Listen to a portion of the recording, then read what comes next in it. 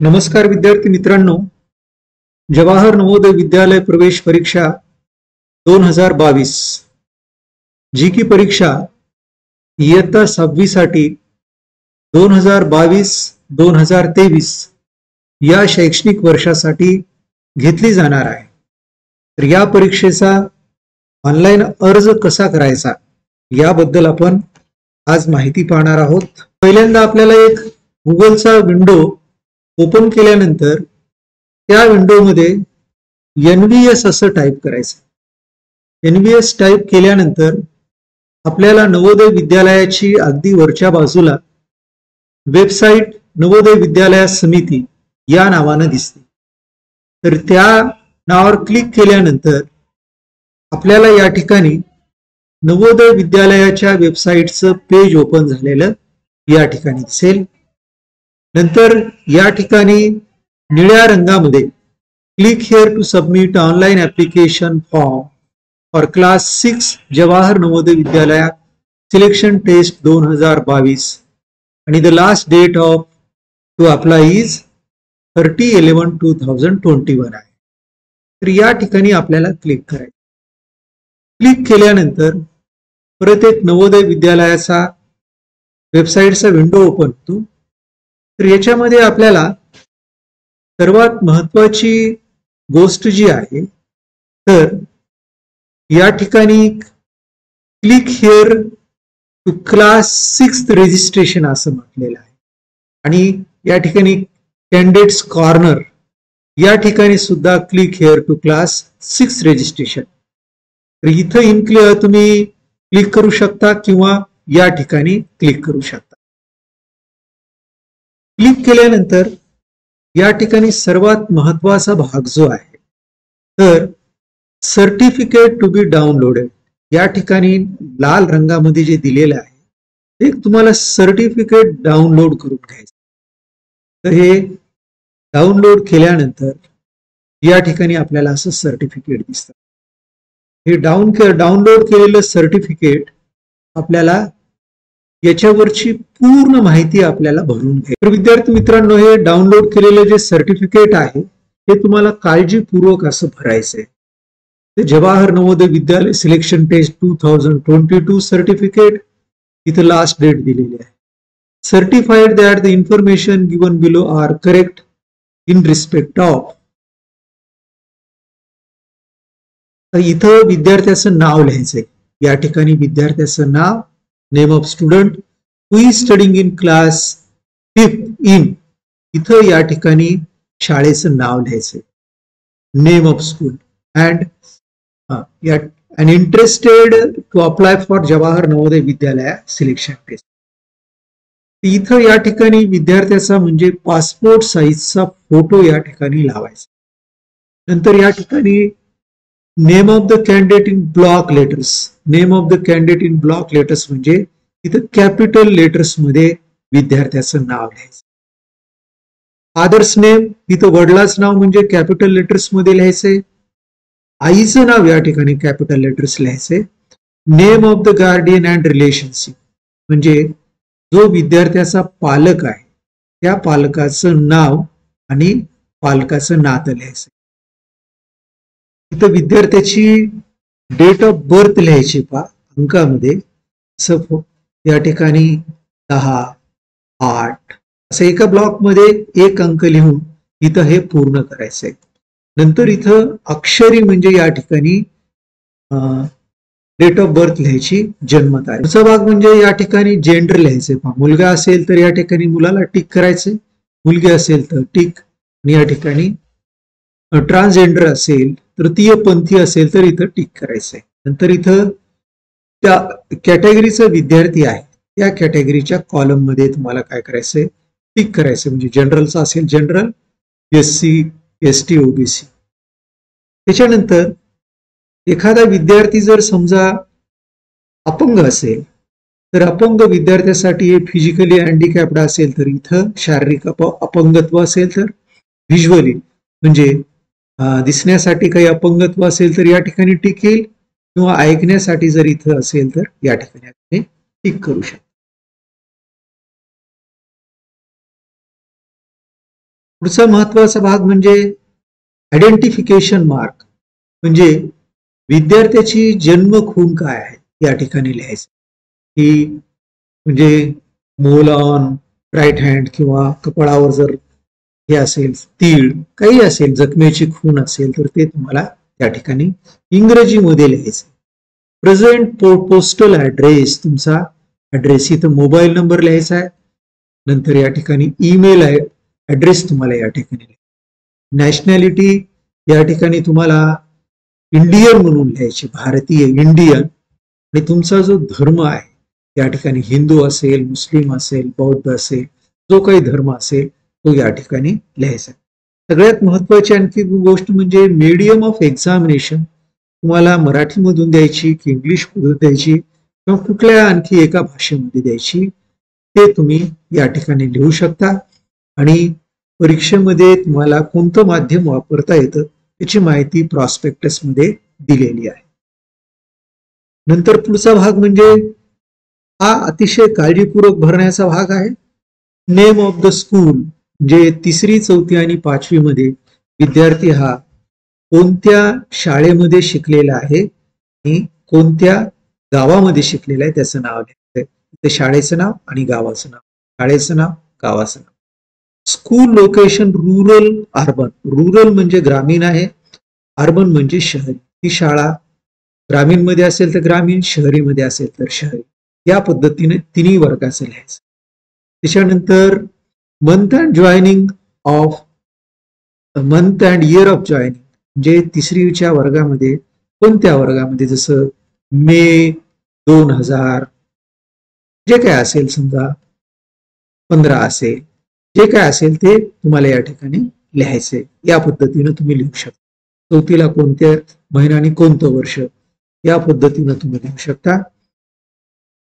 म्हणजे कोणत्या महिन्यामध्ये तुम्ही तिसरीचा वर्ग प्रवेश घेतलेला आहे. त्याच्यानंतर month and year of passing कोणत्या महिन्यामध्ये तिसरीचा वर्ग चौथीचा वर्ग पास केलेला आहे? तो महिना आणि वर्ष लिहायचं.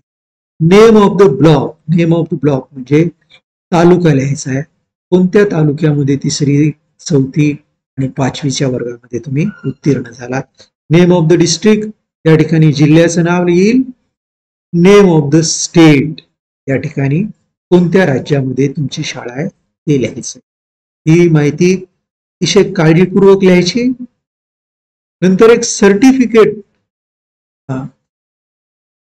हे. पूर्ण वाचून I certify that the schools in which my ward study studying is recognise school fulfil all eligibility criteria as per NVS requirement ही सगळी माहिती जी भरलेली आहे ती म्हणजे अगदी बिनसुख भरलेली आहे.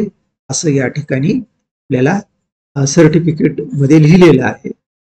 आणि इथं सिग्नेचर ऑफ द कॅन्डिडेट इथं म्हणजे विद्यार्थ्याची सही करायची आणि या ठिकाणी पालकाची सही घ्यायची. सही करायची. त्याच्यानंतर हे सर्टिफिकेट वरली माहिती पूर्ण होती. या सर्टिफिकेटचा फोटो काढून ज्यावेळेस आपण ऑनलाईन रजिस्ट्रेशन फॉर्म भरत असतो त्या ठिकाणी अपलोड करायचा. तर तो कसा अपलोड करायची याची माहिती आपण पाहणार.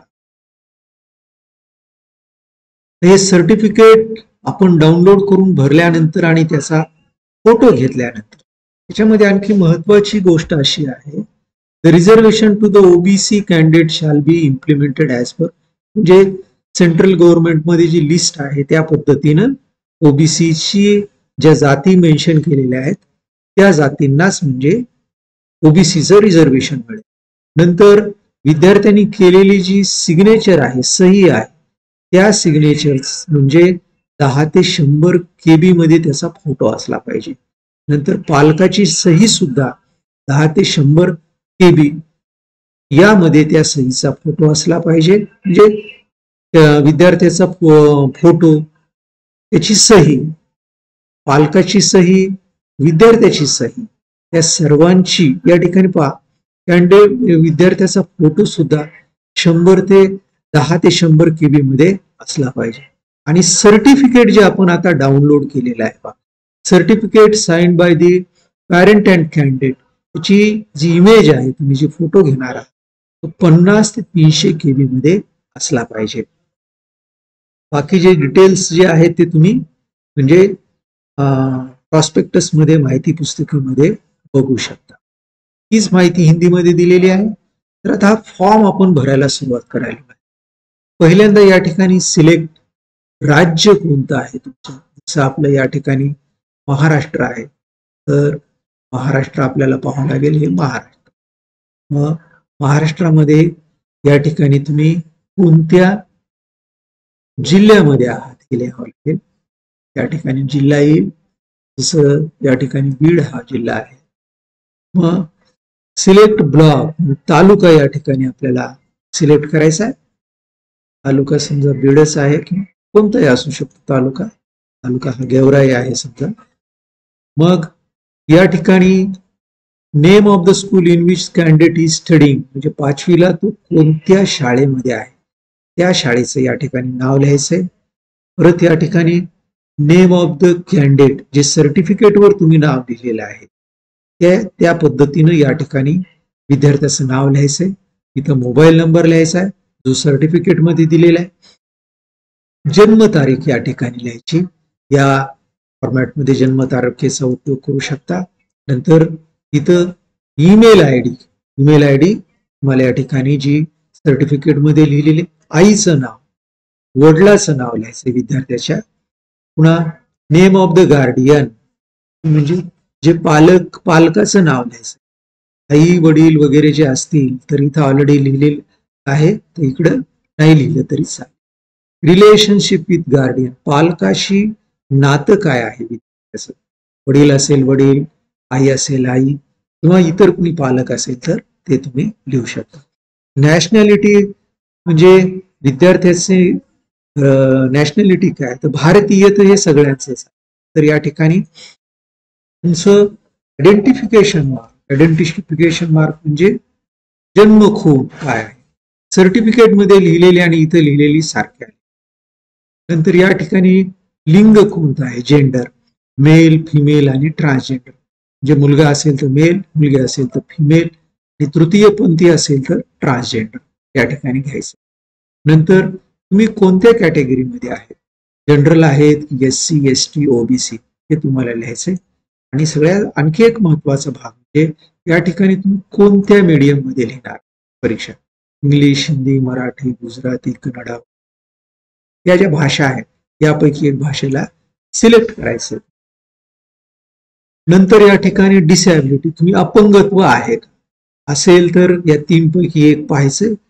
म्हणजे फिजिकली हँडिकॅप्ड शारीरिक अपंगत्व व्हिज्युअली हँडिकॅप्ड दृष्टीमध्ये दोष असेल.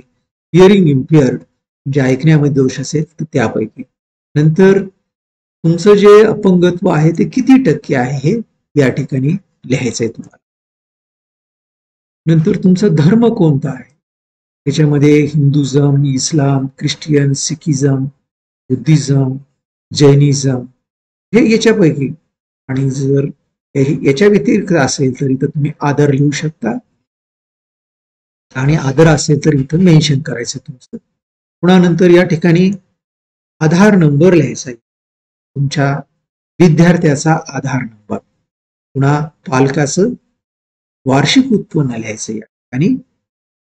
पुन्हा या ठिकाणी प्रेझेंट पोस्टल ऍड्रेस म्हणजे तुमचा इथं पत्ता लिहायचा आहे. पुन्हा त्या ठिकाणी दुसरा आणखी एखादा पत्ता असेल तर इथं लिहू शकता. पुन्हा इथं तुम्ही ज्या भागामध्ये राहता ते एस टी डी कोड तुमचा टेलिफोन नंबर असेल तर टेलिफोन नंबर लिहा. इथं पुन्हा जिल्ह्याचा पिनकोड तुम्ही ऍड्रेस लिहिल्याच्या नंतर दुसऱ्या ऍड्रेसमध्ये जो पिनकोड असेल तो तो लिहायचा आहे. तर ही या पद्धतीनं माहिती म्हणजे आपल्याला भरायची आहे. भरलेली माहिती या ठिकाणी ऑटोमॅटिक येऊन जाते. आणि या पद्धतीनं मग नंतर हे सर्टिफिकेट्स वगैरे. इथं तुम्हाला काय करायचं की विद्यार्थ्याचा फोटो या ठिकाणी अपलोड क्लिक केल्यानंतर ज्या ठिकाणी तुमची फाईल आहे फोटो तिथून अपलोड करायची.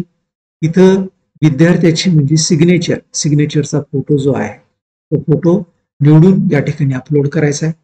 पुन्हा पॅरेंट आई किंवा वडिलांची सिग्नेचर असेल जो कोणी पालक असेल तर त्या पालकाची म्हणजे अपलोड करायची म्हणजे तो फोटोची सहीचा फोटो आणि या ठिकाणी आपण जे प्रमाणपत्र भरलेलं आहे प्रमाणपत्र भरलेले आहे या ठिकाणी त्या प्रमाणपत्राचा फोटो या ठिकाणी सिलेक्ट करून अपलोड करायचा आहे.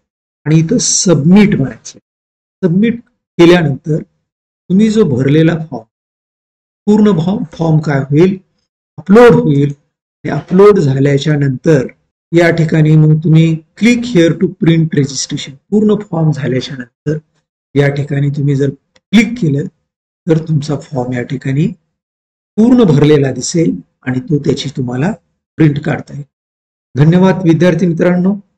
तर हा जो व्हिडिओ आहे हा व्हिडिओ जर आपल्याला आवडला असेल नक्की त्या ठिकाणी लाईक आणि कॉमेंट करा. आणि ज्या विद्यार्थ्यांना म्हणजे या परीक्षेला बसायचे त्या विद्यार्थ्यांना पालकांना हा व्हिडिओ शेअर करा. कोणतीही अडचण आली असेल कमेंट करा.